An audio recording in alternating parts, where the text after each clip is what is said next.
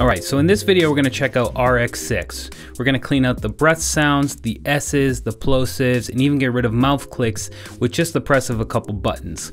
Let's do this, let's jump right in, the magic of RX6 by iZotope.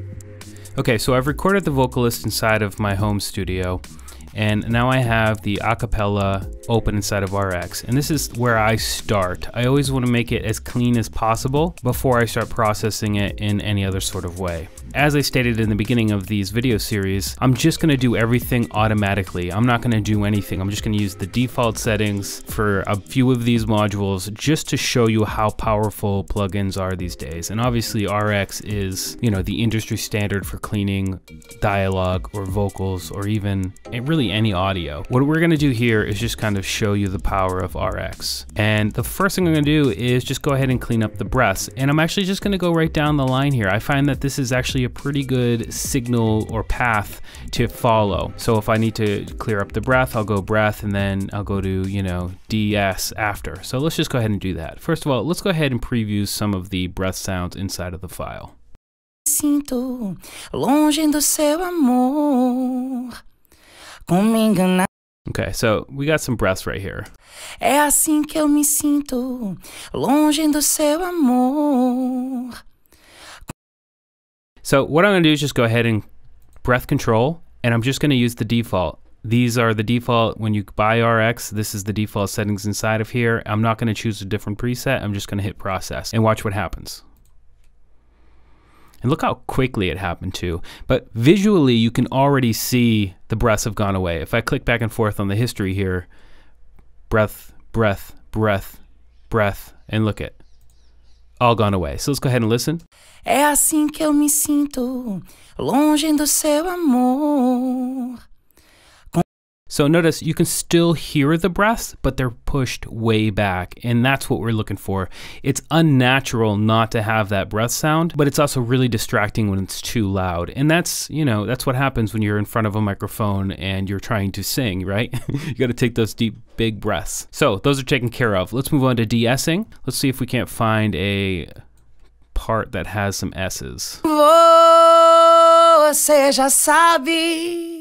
Okay, so we got a couple S's right here. I'm just gonna go ahead and run the de-esser. So again, I'm just gonna use this default. I'm not gonna change the algorithm. I'm not gonna change any of these settings. I'm just gonna hit process and I'm gonna let RX do the work for me. It's gonna take a second, so let's fast forward this part, but I'm just gonna hit process.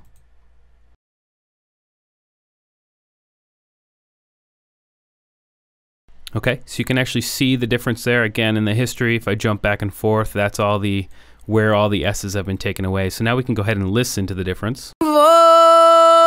Você já sabe. Cool. Without. Você já sabe. So a big improvement there.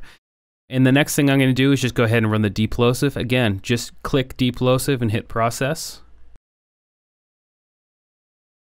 Close out of there. And there's actually a spot at the end that I want to show you so you can hear here. So this part right here has a bunch of S's and a plosive. So listen. So 100%.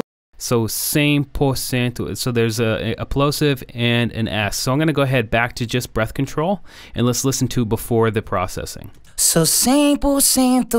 So lots of S's. That plosive is very apparent. Let's go to De-ess. So 100%.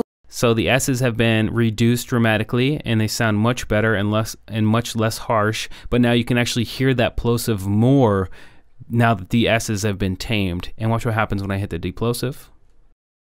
So 100%. And essentially what that deplosive is doing is just removing the low end energy of that plosive uh, consonant sound. So it does a really good job. And again, all I'm doing is clicking the module and hitting process and just the defaults inside of here are phenomenal. I'm going to go ahead and zoom out and there's just one last thing I want to do to this particular vocal inside of RX and that is just get rid of the mouth declicking. There's actually some up here in the front, uh, right here for example. You can hear it, right? So let's go ahead and run the mouth declick and I'm just, again just going to go ahead and process and you'll see how many clicks it's removing and hopefully it'll get rid of that click right there just so we can get a good example of what it's looking for. But again, hit the module, hit process, and it's really cleaning up the vocal. Obviously, if you have a bigger issue inside of your vocal, then you're going to want to jump in and do a little bit more work and you know jump in and maybe check the different presets. And then if those don't work go ahead and start moving around some of the parameters yourself. But this was already a pretty decent recording to begin with. This is just making it much better easily. And you can see that it got rid of that. But it's still got a click right there, but I'm not really concerned with, about it. But if we zoom in here, let me go ahead and zoom in. Uh, and check this area right here. When I go to deplosive, you'll see that it did get rid of some of those clicks. So this would be an instance of where maybe you want to go a little bit higher on the sensitivity, for example. But the purpose of this tutorial series is to show you how great uh, just the machine learning and automatic processing and presets can actually get you all the way to a professional sounding product just by using these presets and automatic processes inside of these plugins.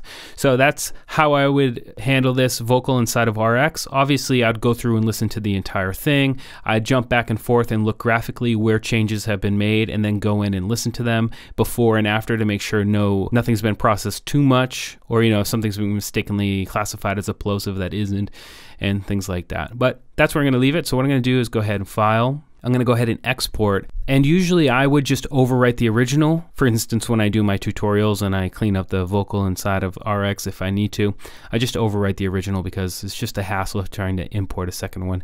But for something like this, I always save a new version just so I can always go back if I need to. So I'm going to save wave, 32-bit float, sweet.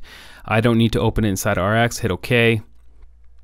And I'm just going to put cleaned all right, so this is where the raw file is. I'm just going to put cleaned, hit save. It's going to export, and we're good to go. And if this was a very serious project, I would save the RX file just so I can, again, come back in and make any changes that need to be changed or further process if need be. But I think we're good to go. So that's a demonstration of how powerful RX is in cleaning up a vocal. In the next tutorial, we're going to check out processing this using Melodyne to make sure the tone of the singer's vocal is on point inside of the key of the track.